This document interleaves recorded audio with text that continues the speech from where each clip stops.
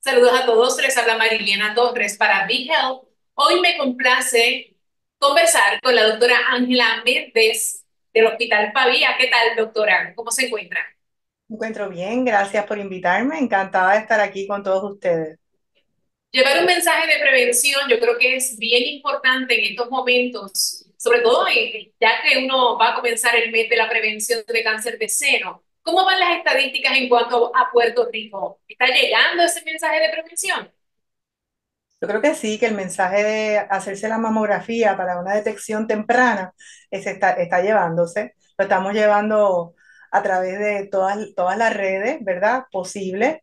Y mucho, mucho gente como Sociedad Americana contra el Cáncer, Susan G. Komen, pues son gente que, personas y grupos que también se dedican a llevar este mensaje que nos ayudan eh, a que las mujeres vayan y se hagan su mamografía para detección temprana.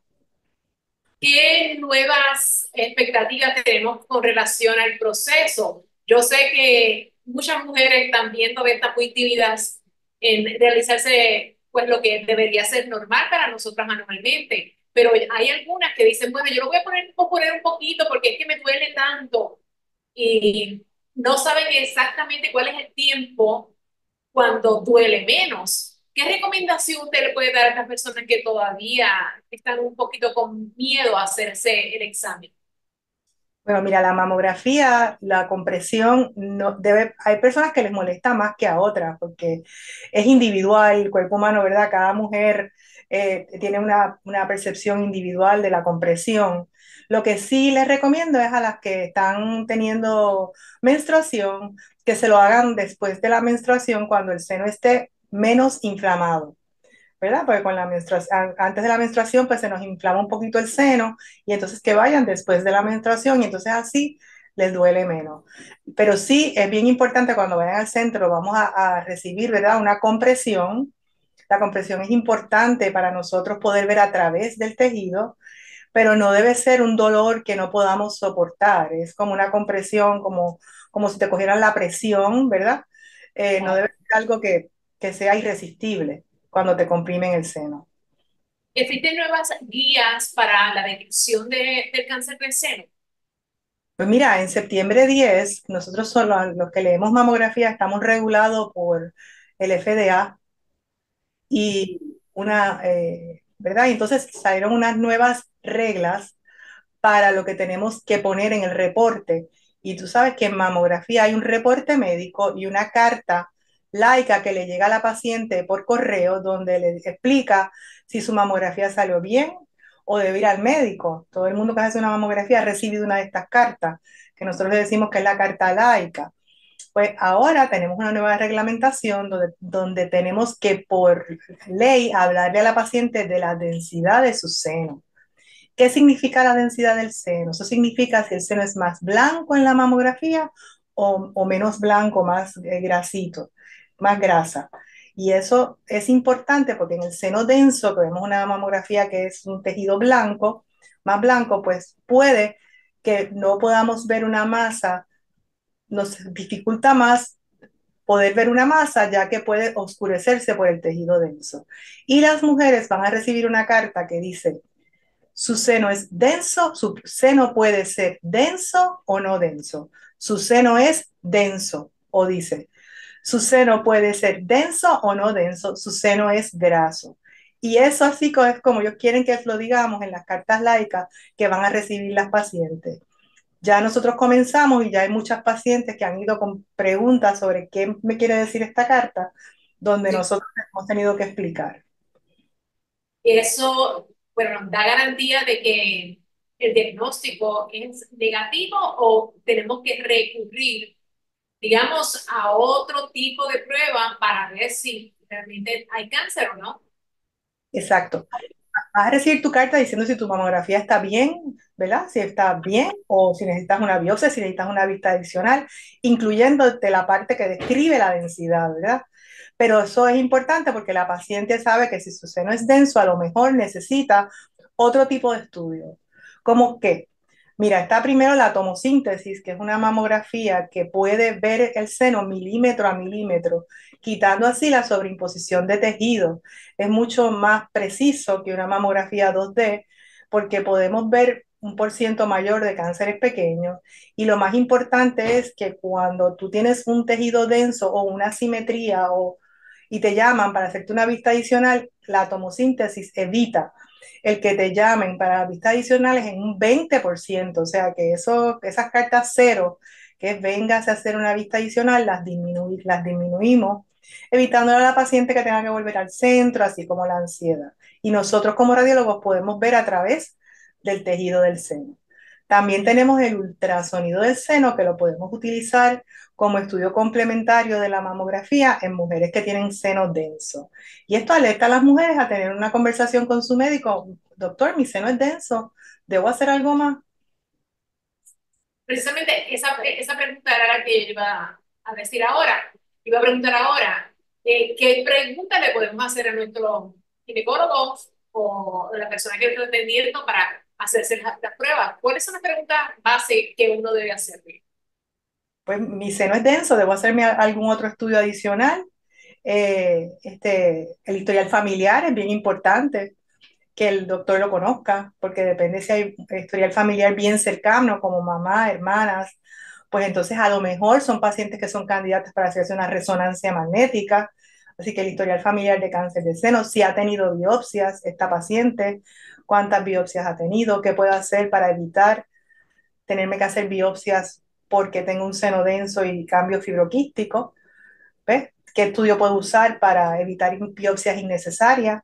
Y así esto pues puede discutirlo con su médico para tomar acción y que sea el mejor estudio personalizado para cada mujer. ¿Existe algún procedimiento que es mejor al otro para un diagnóstico muy más certero? La mamografía sigue siendo la herramienta de cernimiento más fuerte que tenemos para el diagnóstico temprano del cáncer del seno. Podemos añadir una tomosíntesis, que es una mamografía más sofisticada, y eh, lo que pasa es que los planes médicos solamente Medicare y los Advantage lo cubren, los demás planes médicos no lo cubren. Eh, y en las pacientes que tienen seno denso, pues usualmente pues, eh, recurrimos a un ultrasonido del seno como estudio suplementario. ¿Cuáles deben ser los hábitos, digamos, más saludables para prevenir el cáncer de seno? Pues mira, María, los mismos que para enfermedad cardiovascular. Mantener nuestro peso, comer bien, tener una vida saludable, hacer ejercicio. Eso es lo mismo para eh, eh, tener una vida saludable para prevenir ¿verdad? cualquier tipo de cáncer, inclusive el del seno, pero no deja de, no deja de, no dejar de saber que estamos a riesgo porque somos mujeres. El cáncer más común en las mujeres, pues, porque, porque es cáncer de seno, ¿verdad? Igual que la próstata en, los hombres. Así que no debemos de dejar de hacernos nuestro estudio anual aunque pensemos que estamos llevando una vida saludable, porque lo queremos encontrar, eh, si vamos a encontrar un cáncer, lo queremos encontrar bien pequeño, eh, de un centímetro o menos, para que así esa paciente se pueda curar, mejor tratamiento, menos cirugía y pueda, ¿verdad?, eh, realmente sobrepasar esto. Eso es lo más importante. Que este estudio de cernimiento no lo podemos posponer por, por nada. Nos tenemos que cuidar y tenemos que tomar acción tener cáncer no significa una sentencia de, nuestro claro, tiempo.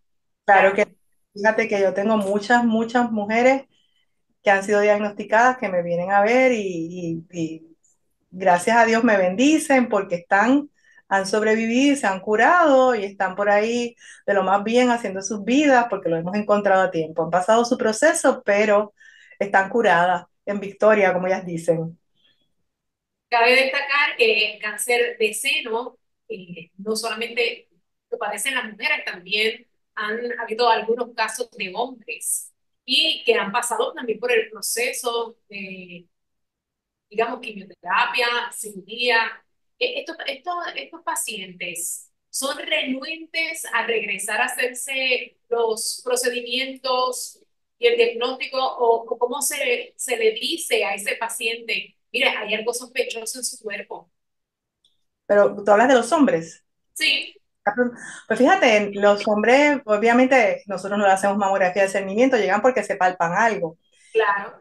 Y los que yo he visto y lo que hemos tratado, realmente no, se, se hacen su mamografía igual que las mujeres, se hacen su sonograma y las biopsias. Y los que yo he diagnosticado, que le hemos dicho que tiene cáncer de seno, pues por lo menos los que yo, mi experiencia es que se han tratado y vienen a su seguimiento eh, eh, bien, igual que si tuvieran un seguimiento de un cáncer de próstata, vienen y se hacen sus mamografías y se siguen, y sus sonogramas, porque usualmente el hombre que tiene cáncer de seno, pues se le saca el seno completo, se le hace una mastectomía, ¿verdad? No como las mujeres que tratamos de hacerle una lumpectomía para preservar el seno o si hay que hacer una, una mastectomía, reconstruirla con un implante, ¿verdad? El hombre se le hace una mastectomía y se sigue. Pero no, ellos hacen su seguimiento eh, igual y vienen, vienen y conversan con nosotros, ¿verdad? Como muy bien, no tengo problema, no he tenido problema. O sea, es decir, que son responsables eh, Al principio es un shock, ¿verdad? Porque soy hombre y tengo cáncer, pero eh, realmente sí, eh, hemos tenido experiencia con hombres y hemos tenido muy buen rapport y lo, hemos, hemos, los estamos siguiendo. A lo que voy es que, que, por ejemplo, si uno conversa con alguien y dice, no, si es que él es paciente de cáncer de mama, dicen, pero hombre, ¿cómo va a ser? Y no, ellos también pueden pasar por este, esta mala noticia, pero con un procedimiento que obviamente es positivo al final, así que es importante educar para que todo el mundo se haga los exámenes y pueda prevenir. Esa, esa, ese es el mensaje. Eso es así. Si un hombre se palpa algo en, el, en, su mama, pues sí, debe ir a chequearse y hacerse los estudios de rigor que hay que hacer. Doctora, yo creo que debe ser, digamos, eh, común y que todas las mujeres se palpen mensualmente para verificar si tienen una, una masa antes de realizarse cuando le toque la mamografía.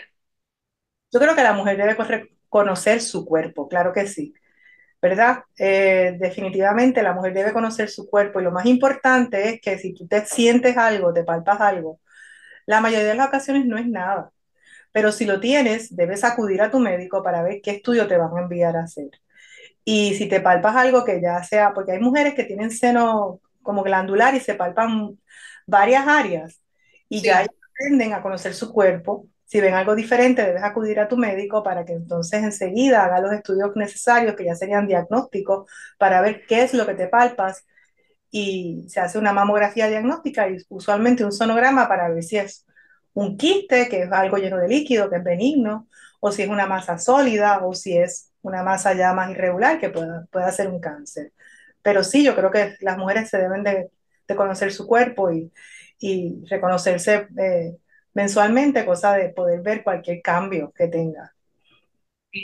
Muchas gracias, doctora, por haber estado con nosotros. Sé que van a estar celebrando eh, el mes de la concienciación sobre el cáncer del seno, así que mucho éxito y además de eso, esperamos verla nuevamente en alguna actividad de. Gracias. Gracias, gracias por tenerme. Continuamos con. Toma el control de tu salud con vigealthpr.com y síguenos en nuestras redes sociales.